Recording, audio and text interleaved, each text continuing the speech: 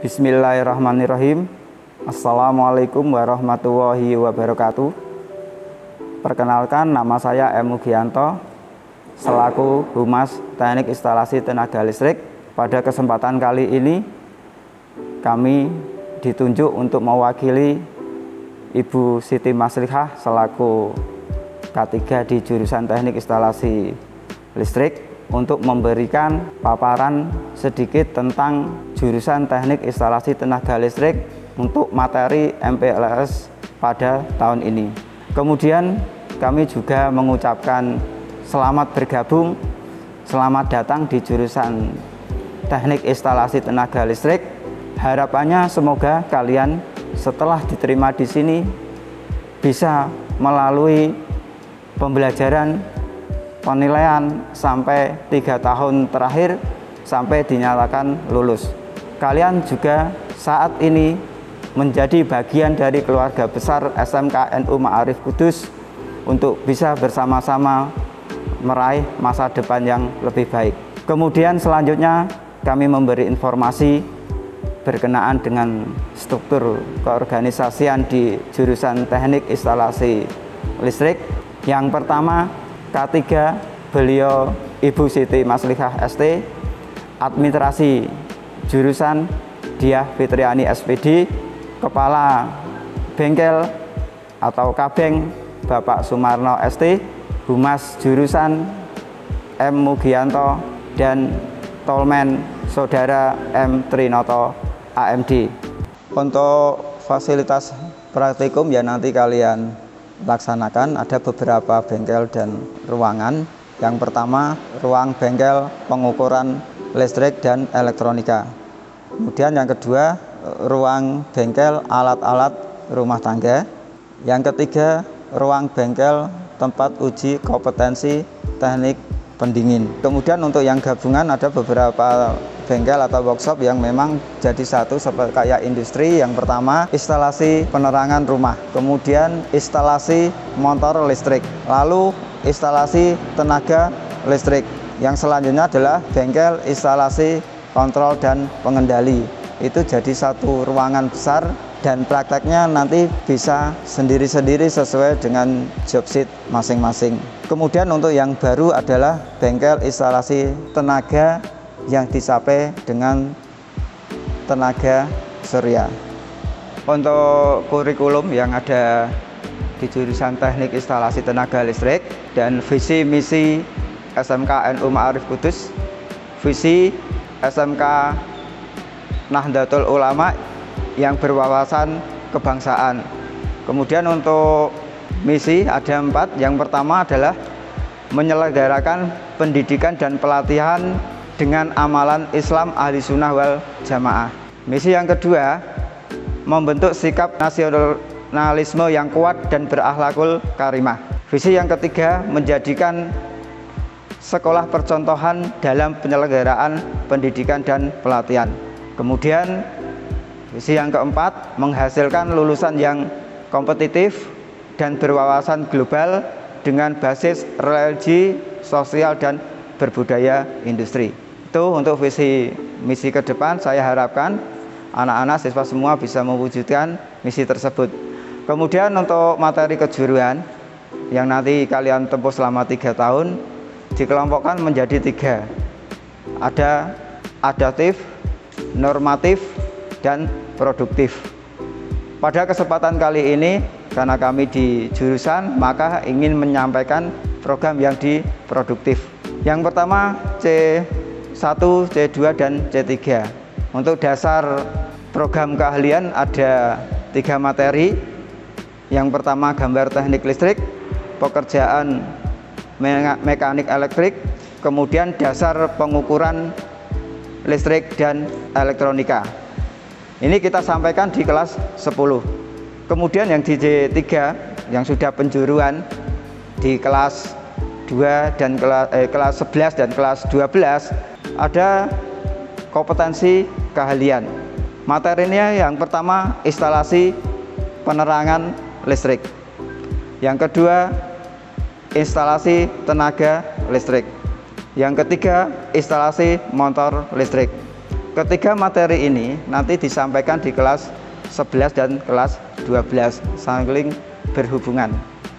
Kemudian untuk materi yang selanjutnya adalah peralatan perbaikan peralatan listrik. Nanti kita sampaikan di kelas 12. Kemudian materi yang terakhir adalah PKK, yaitu produk kreatif dan kewirausahaan. Nanti kita sampaikan di kelas 11 dan kelas 12. Itu struktur yang ingin kita sampaikan nanti di kelas uh, teknik instalasi tenaga listrik selama tiga tahun.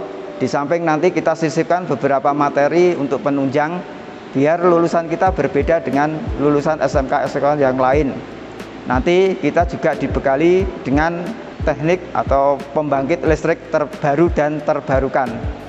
Di antaranya adalah ada teknik PLTS tenaga surya, kemudian ada eh, pembangkit listrik tenaga bayu, kemudian ada pembangkit listrik eh, tenaga air dan yang terakhir yang kita punyai dan sudah kita gunakan adalah pembangkit listrik tenaga surya.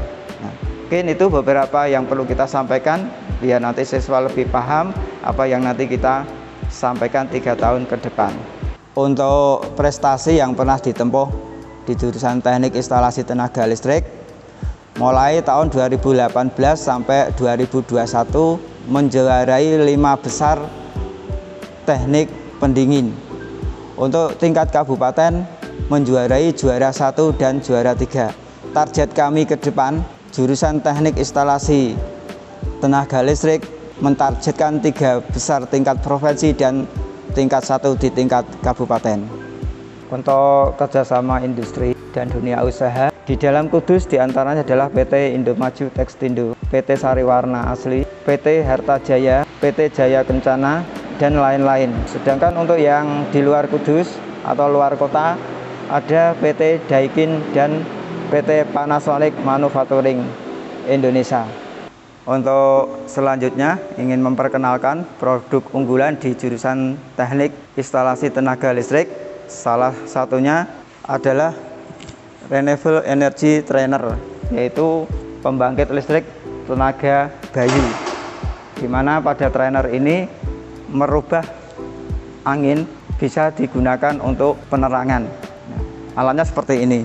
Nanti trainer untuk ke depannya bisa dikembangkan sesuai dengan kebutuhan zaman. Karena ini merupakan alat baru dan terbarukan maka ke depannya harapannya bisa mengurangi atau penggunaan teknik listrik. Ya untuk produk unggulan lainnya yaitu PLTS pembangkit listrik tenaga surya di mana maksud dan tujuan dari peralatan ini bisa mensuplai kebutuhan listrik yang ada di bengkel jika nanti sewaktu-waktu listrik dari PLN padam. Kita mempunyai banyak atau beberapa watt untuk mensuplai itu karena kita mempunyai di atas panel surya kemudian turun ke bawah menuju ke panel dari PLTS nah ini tambahan dari pelajaran nanti ini masuk di instalasi tenaga listrik dan merupakan salah satu dari energi baru dan terbarukan yaitu PLTS untuk saat ini mungkin masih jarang di Kabupaten Kudus yang mempunyai peralatan seperti ini. Memang dari segi material dan bahan agak mahal tapi kalau mengingat keperluan jangka panjang sangat menguntungkan bagi pemilik atau yang mempunyai PLTS tersebut. Produk unggulan yang selanjutnya adalah hydropower generator trainer. Alat ini berfungsi untuk merubah energi air menjadi energi listrik ya. Jadi alat ini fungsinya semakin cepat putaran motornya maka energi listrik yang dihasilkan juga semakin terang ya. Ini hanya miniatur dan nanti di dunia usaha maupun di dunia industri bisa dikembangkan lebih lanjut yang lebih besar skala tegangan listriknya. Ini sekilas untuk hydropower generator trainer tersebut listrik merupakan energi yang sangat mendasar yang dibutuhkan semua kehidupan di dunia ini termasuk sarana dan prasarana industri menggunakan listrik untuk operasional jadi listrik sangat menentukan dalam kehidupan manusia. Tidak menutup kemungkinan prospek ke depan untuk lulusan bisa sangat banyak sekali. Entah itu di industri, di pabrik, di mall, di hotel, dan di industri-industri kecil lainnya. Untuk itu di antara peluang yang sangat mendukung dan banyak di antaranya menjadi teknisi perusahaan, teknisi rumah sakit, teknisi hotel, teknisi mall dan sebagainya. Kemudian juga berpeluang menjadi teknik servis, baik alat-alat rumah tangga maupun alat-alat yang menggunakan energi listrik dan elektronika. Bisa menjadi pengusaha di bidang kelistrikan. Contohnya buka servis, kemudian jual beli komponen dan sebagainya. Juga bisa mempunyai peluang menjadi kontaktor atau pemborong instalasi listrik dengan bekerja sama PLN. Dan masih banyak lagi lainnya peluang-peluang yang bisa diciptakan karena lulusan dari teknik instalasi tenaga listrik. Kemudian untuk meningkatkan pengetahuan dan keilmuan bisa melanjutkan di tingkat yang lebih atas jenjang yang lebih atas yaitu dengan kuliah yang linear sesuai dengan jurusannya. Baik teknik listrik, teknik industri, teknik elektro, teknik tata usaha dan sebagainya. Masih banyak yang sesuai dengan jurusan teknik listrik. Jadi mari adik-adik semangat untuk belajar setelah kalian bergabung dengan kita untuk menentukan masa depan yang lebih baik.